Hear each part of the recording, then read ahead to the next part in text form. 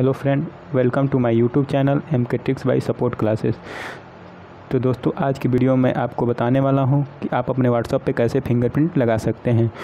दोस्तों तो बने रहिए आज की वीडियो में और देखिए कैसे अपने व्हाट्सअप पे फिंगरप्रिंट लगाते हैं। दोस्तों, सबसे पहले आपको अपने सेटिंग से मतलब आप अपने मोबाइल फ़ोन से व्हाट्सअप को ऑन करना है और व्हाट्सअप को ऑन करने के बाद आपको यहाँ थ्री डॉट दिखा है। थ्री डॉट पर क्लिक करना है। नीचे आपको सबसे सेटिंग दिखाई दे रही है। सेटिंग पर क्लिक करना है और सेटिंग पर क्लिक करने के बाद आपको ऊपर दिखाई रहा कि account privacy security change number इसको, इस पर आपको क्लिक कर देना है। उसके बाद से आपको यहाँ प्राइवेसी दिख रहा होगा। प्राइवेसी पर क्लिक कर देंगे। उसके बाद सबसे नीचे चले जाएँगे। नीचे देखिए फिंगरप्रिंट लॉक लिखा है, नीचे डिसेबल लिखा है। तो आपको अपने फ़ोन में जाकर यहाँ से इनेबल कर देना है, ठीक? जब आप अपने फ़ोन में इसको इनेबल कर देंगे तो आपका अगर फिंगरप्रिंट है तो फिंगरप्रिंट ले लेगा।